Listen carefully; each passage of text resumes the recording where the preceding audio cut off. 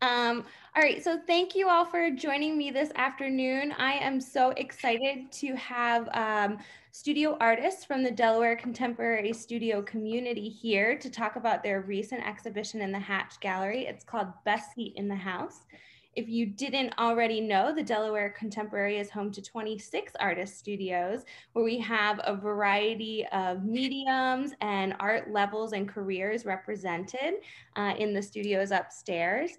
Every month, they curate their own exhibitions that are on view in the Hatch Gallery. That changes um, every single month, so there's always something new to see there. Uh, and this month is a group show called Best Seat in the House, curated by uh, studio artists Caroline Coolidge Brown and Caroline Chen. Uh, so I'd love for the Carolines to tell us a little bit about the exhibition, the idea, uh, and how it came to be. Thank you, Brittany. Um, I, Caroline and I ended up, um, as we do at the beginning of each year, the, the studio artists draw names and months out of a hat to find out who's going to be paired with whom and what month you'll be showing in our gallery downstairs.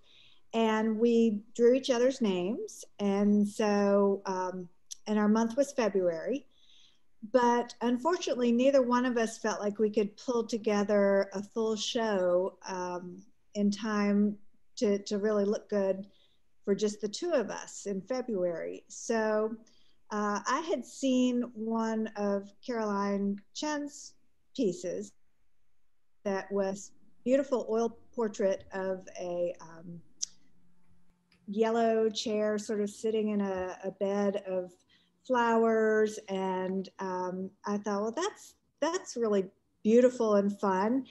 And particularly because i had a really funky chair painting at home and mine is very different and it's got wildflowers and it was based on a, a goldilocks theme so that it's got a ladder back chair in one corner and then the big very french um, voluminous floral fabric chair um, takes up the main space of it. And so just based on those two pieces that were already made, we said, how about we just invite everybody to do something about chairs? And um, a lot of people had pieces that would fit the theme already. Um, a lot of people made new work specific to the theme. Um, and it just kind of you know, we didn't know what to expect. And I just trusted that we have a really talented and diverse group of people here. And I knew whatever showed up was going to be great. And it was. Caroline Chen, I know, so I should say Caroline Coolidge Brown, you are a printmaker. So that's your main medium. And you mentioned, Caroline Chen, you work in oil painting. Um, and so I guess the idea that it would take a long time to build a body of work for exhibition is something people can touch on or talk about. Um, and we can think about when we address all the different Hatch exhibitions. Uh, Caroline Brown, what was the process like for you, or Caroline Chen, what was the process like for you, or you know, when Caroline Brown came to you with the idea, was it something that you were kind of drawn toward or was it something that you're like oh i don't know that that could really work? I feel like usually you get two people with different ideas that work together and that makes something better than if they're both always agreeing with each other. Does that make sense? Yeah. Well we actually came up with this idea at um, tower hill that hugh brought um, us all together at a show earlier this year and um, she caroline brown was helping me hang this particular piece. And i love chairs. Um, they're just really graphic and interesting. So and she said we should do a chair show. And i was like uh, we have to do that. And then when we saw all the chairs the different um, interpretations and um, pieces come in it was so exciting in the gallery um, to see that come together and that's really i think how the studio artists like the show at um, tower hill was the same way everything came together so beautifully um, so it's exciting to see all the pieces kind of talk to each other and everybody's interpretation well and i should note that we have some work on the wall uh, in the in the gallery, but also there's some sculptural work too. Yeah. Um, and there's really a, a, variety of mediums represented. Um, I don't know, Samara, I see you there. Uh, it might be interesting to hear from you when you heard and Rich too this idea of a chair. What was the first thing that came to mind for you, Samara? Um, I thought it was really neat, and I thought that the idea of a seat, like the actual title, "Best Seat in the House," um, was interesting and kind of got my mind going. Um, because the idea of a seat or place um, where you are at the moment kind of was what I ended up touching on. So um, I have a lot of different mediums I work in, um, but for this show, I wanted to do my ceramics. So I actually did a few vases. Um, and the main thing I was thinking about at first was the idea of, again, kind of where you are at the moment. Um, and I had been doing some stormy seas themed mugs. And so I took that idea and the idea of kind of being being in a stormy sea, especially with everything that's happening in the world right now and with COVID and how probably a lot of us are feeling like we are surrounded by kind of turmoil and things that we can't control, um, kind of capturing that in a vase um, with being in the middle of a stormy sea was kind of what I was trying to do. And I was then further inspired um, to do another piece that was, again, a vase that is a chair that's kind of being blown um, in a tornado, which, so again, the same kind of idea of where you're at and not being able to control your surroundings and kind of just having to go with it. Well, and I love that. Um, I think one of the most exciting things about the show is the different perspectives and interpretations of uh, the seat or what it could mean that everybody really brought to it. I think that makes it so dynamic. And there are a couple other sculptural pieces in the exhibition too. And I should say, Samara, you work with ceramics, and uh, artist Rich Lopez is also a ceramicist, and he went in kind of a different direction. Rich, can you tell everybody a little bit about your work? Yeah, well, um, when Caroline Brown stopped in my studio and mentioned this potential, um, I immediately connected back to some thoughts I had about three years ago. And uh, as you know, the ceramics are as old as humans. And uh, the way people used to keep things cold was to um, perhaps put uh, water around a terracotta crock or jug. And because the water would evaporate, things would become cool. So having that concept in mind of cooling things naturally with ceramics um, and pushing the boundaries of what people would normally associate with ceramics, I had thought about, well, uh, perhaps in the hot summertime, you could have a chair that was made out of ceramic and that if you wet it, uh, as it dried, it would cool and you would be naturally cooled sitting out in the out on your porch. so, so I didn't take the idea very far uh, uh, at the time a couple years ago. But then when Caroline came in, I said, okay, I got to go ahead and do something. So um, I um, uh, combined some of the uh, color and clay uh, ceramics that I did with some, uh, you could call them tiles or rounds, and actually made those as plugs into a, um, a vinyl uh, covered uh, lounge chair. So hard to describe. I don't have a little picture of it here.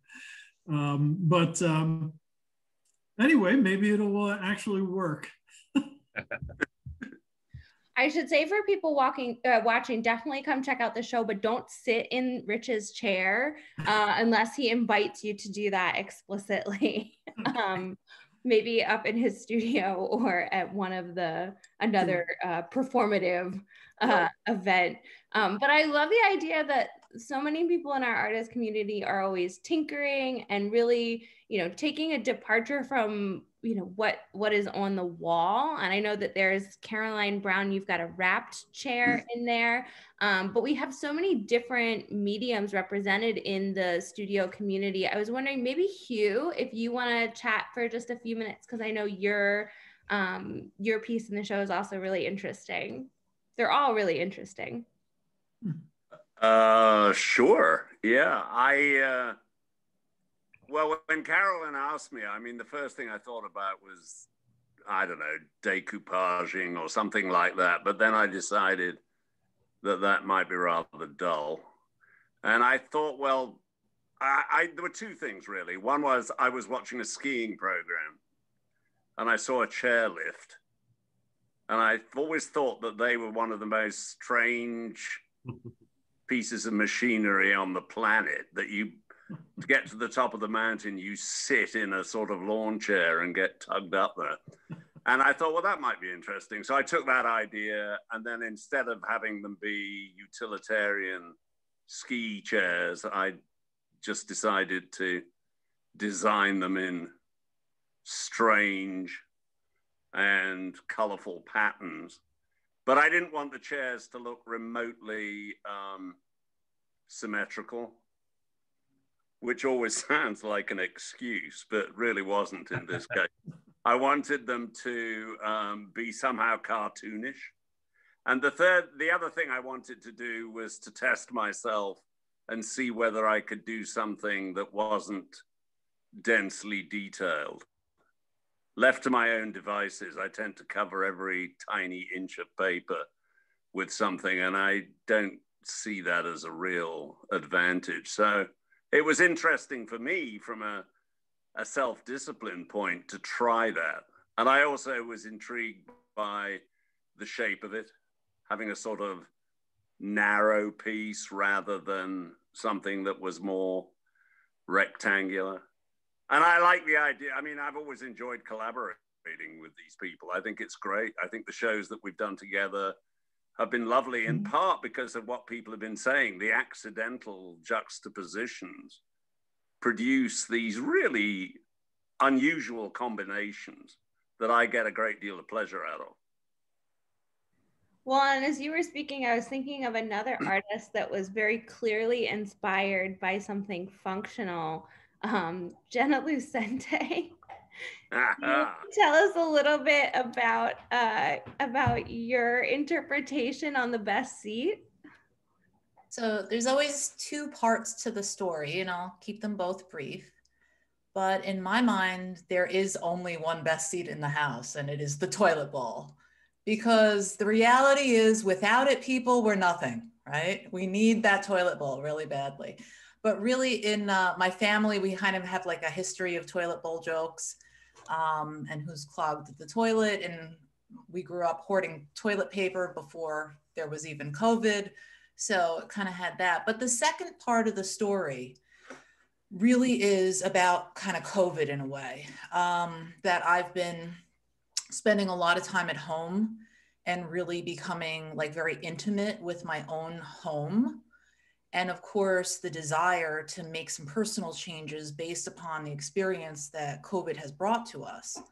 So that's where this little interior came from because i've really been studying little moments in my home um, and really thinking about them in a new way and thinking about my work in a new way. So this you know this uh, exhibit was a great opportunity um, to kind of have some fun in one way that's fun and one way that's like really serious actually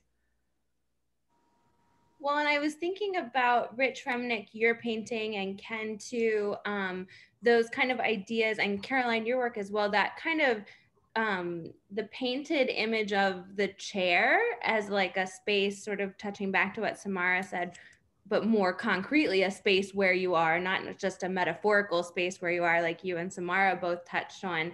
Um, and Rich Remnick, your painting in a good way just reminds me of a cozy space is it is it actually the cozy chair in your home or in somebody's real home or is it um, an imagined cozy spot? Um, well it actually is in my home. Um, and you know when I, I heard about this project it's you know there's there's a kind of anxiety of, of having to do something like on spec so to speak. But fortunately this particular chair has been glowing in, in uh, our great room for a long time and i'm always like looking out for something that i'm going to do someday so this all, all worked out and it, it definitely i think feels like a portrait of a chair uh, that, that that this chair became very animate and, and had like a kind of personality. It even has tattoos, I think. Um, and, and, so, uh, you know, it just excited me, and uh, and it, it just dovetailed very nicely with this idea of chairs. I should mention there's also in the Winterthur Museum, um, there is a room with a wall full of wooden antique chairs. Mm. And when I go in that room, I just get palpitations. It's just amazing. So, you know, chairs are good. It was a great idea. Well, and I think a chair, it can also be a really symbolic thing. And I feel like a lot of people also through this exhibition have given us a little bit of um, insight, I guess that's a real space for you. And then Carson, I was wondering if your if your um, work, if you wanted to talk a little bit about the uh, the piece that you have in the exhibition. So, because I do figurative work, um, I started thinking, well, what what would it what does it mean to be a chair? Well, it's who's in the chair. So I started thinking, a dear friend of mine, Rosanna, um, I use her for Holly for photo shoots. And she's, a, she's very creative. And the space where I photographed uh, Jessamine changes on a constant basis. And there's always Italian sculptures and different furniture and so forth that are always moving in and out of that space, which is the, the, the front hallway of her house. So I've worked with maybe four or five different models over the last 10 years in that space. Each time it's different each time we end up with something different. This one I love because it, it was lighthearted and um, hasn't felt terribly lighthearted. So I wanted to have something that was a little fun. It, after the fact, after I, I, I, looked at the image, I kept thinking about um, Jessica Rabbit from uh, Who Framed Roger Rabbit because she had the hair going across the face in, in, in, in the portrait. So, so it was to have a little fun. Well, and Ken, I saw you laughing at that joke, and I was also going to toss it to you because I feel like your work is generally pretty figurative too. It's, there's something about redheads, forgive me. you got Proud Maisie. There, there are so many redheaded models. Van Gogh had one. There, everybody has a redheaded model, and I, I, I sent mine out to New Mexico or Arizona. I wish the hell I'd gone to Arizona or New Mexico. well, and models or something else. Shut up, Ken. well, Ken, I wanted to hear a little bit about your perspective on the the idea or the concept of a chair because again, like Carson, I find that your work is usually pretty figurative. So what was the what was it like for you either selecting a piece or creating a piece that was part of this show? The spin-off painting down at the University of Delaware probably 10 years ago and back when I could see and back when they had lovely people coming in there. We had a football player, and I called him a classics major or something, and I had him surrounded by the Trojan horse, and there, there's Athena and Mars in the background, and he's sitting in a goddamn metal chair. You know, he's he's in one of those folding chairs, which everybody knows about, and they're cold and they're nasty. But this guy grinned and bared it, and uh, it, it, it, was delightful. And I got I got what oh I've I've, I've got Helen and Paris running across the front of a bunch of red figured Greeks. So it's it, it, it, it's an exciting picture, quasi art hysterical. And then there is the uh, Minoan throne or the Minotaur throne where there, there's this beautiful girl sitting on the back of the Minotaur. So that's who knows what. I don't know. It, it, it's art hysterical. Enjoy, enjoy, enjoy. Have a good laugh. There's no point in, you know, there is serious art and then there's, I don't know. What, what can I say? Well, I feel like that's a good, maybe a good toss to John Brakey because I feel like his work is often very playful. Um, good luck with I, that, John. Wait, what you? I said good luck with that, John. John, did you want to tell us a little bit about your piece? Shame on me. John, can't hear. Wait, John. yeah, that's why I'm muted because who could follow Hugh's wonderful explanation about why and how he painted such an amazing chair? Like, thank you, Brittany. what a segue. Uh, well, it's probably better that mine was more abstracted. Uh, I made something out of cardboard and lots of mediums, and I kept adding more and more and more to it, and it kept getting uglier and uglier. And so, in desperation, two days Ugly's before, good. Ugly's good. Uh, I don't know. Well, for you, uh, you could pull that off. I I struggle with trying to get something to look ideal, but also have some sort of a form to it. And uh, two days before the deadline, it wasn't happening. So um, it's still sitting off to the side in the studio. Um, and so I just made something else. And the idea was, you know, maybe it looks like a chair, maybe it's kind of uh, has a little bit of personification to it. But I was very happy to be able to uh, to add something to the show, um, knowing that it's a very tough arena. There's some really great work in that space, and uh, the the group of artists here are always so collegial and uh, supportive of each other. It's like you don't want to let them down, and uh, you know, I, I I take that you know that that deadline, that prompt from Car- the, the Carolines very seriously. So uh, um, thank you for including me. John, I love your chair. It makes me smile. well, you know, literally put a little face on it. put a happy face on everything nowadays. That's what that's what uh, life seems to be about. Is like soldier through, smile through. We're all going to get through everyone who walked into the gallery when we were setting up were drawn to your piece. well, well, thanks. I'm. Yeah, uh, great.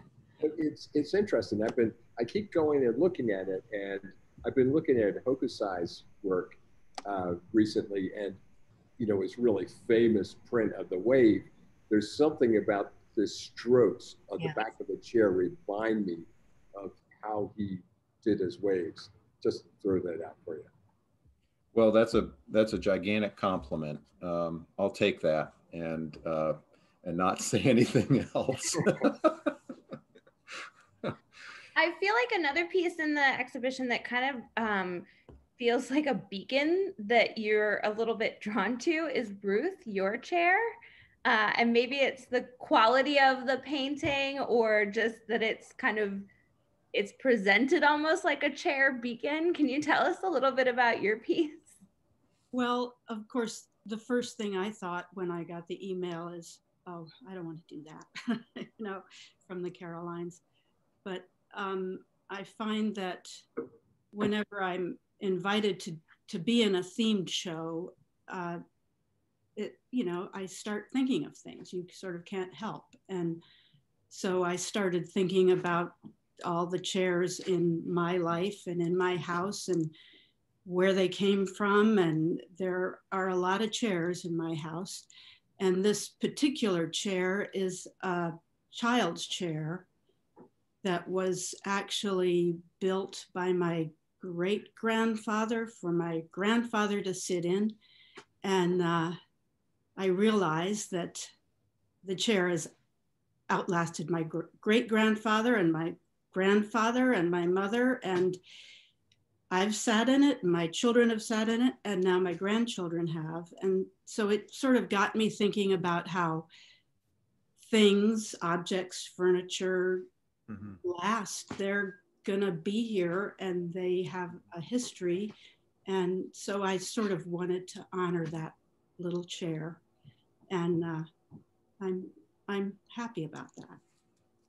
And Oh my gosh, Ruth, that that was getting me a little bit emotional there and overwhelmed thinking about that. But I also think it's you know it's perfect because our seasonal theme for these exhibitions this um, this winter spring is object and i guess um, maybe i'll give it back to the carolines uh, to talk a little bit about their work but then also um, if anybody else feels so moved that idea of the chair as object or even the art that you make as an object uh, would be really interesting to hear about well I think that it, it's like so much of what life is and becomes. And I think, particularly as we have, like Jenna said, focused on our interiors uh, this year being in quarantine, um, the chair can be like completely utilitarian. It can be that metal folding chair, um, but then it can be something that's you know, I think of Anne's uh, piece that's just an idea, um, you know, and Ruth, you know, this idea of the the heritage of a, a chair and and all the meanings that can go into it. Um, you know, it's it's it's one of those things that feels very simple at first, but then can be really rich and complex.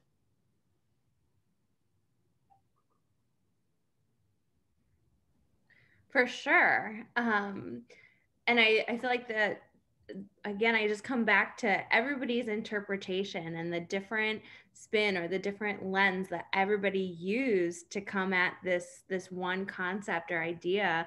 And i'm so thankful to you the carolines for pulling it together and making it happen.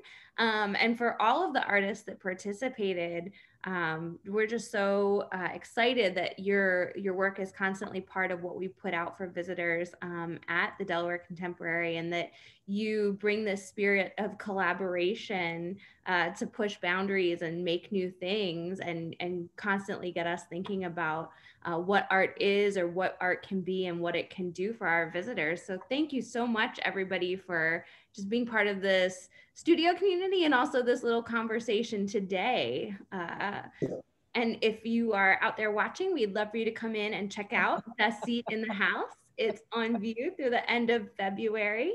And remember, exhibitions at the Hatch rotate every month. So you get a chance to see a showcase of all the amazing work uh, that studio artists are doing uh, at the Delaware Contemporary. And we hope that you'll come out and visit us soon.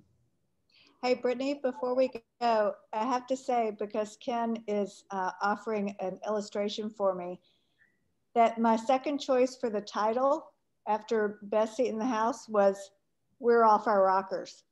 Rock on, baby. Rock on.